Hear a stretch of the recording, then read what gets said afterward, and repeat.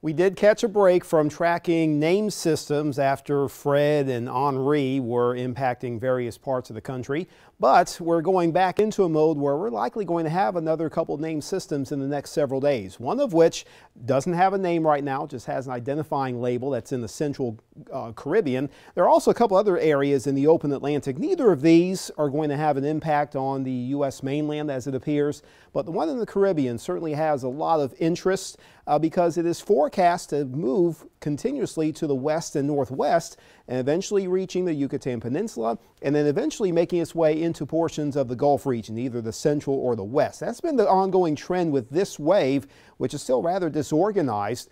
And as it goes into sections of Central America, the land interactions could certainly delay any kind of strengthening that this could try to undergo.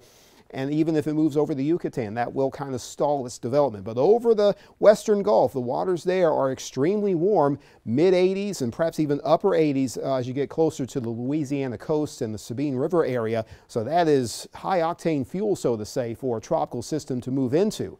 And the latest guidance continue to move in that general trend uh, to the northwest. So this keeps it clear of our region. There are still several days of data and fine tuning and uh, number crunching to really hone in on a definitive path for this. But given that that trend has been more focused in the central and western Gulf, our development index for tropical systems is still in a very favorable range even into the weekend. So that's going to be something to monitor very closely. The next name on the list is Ida.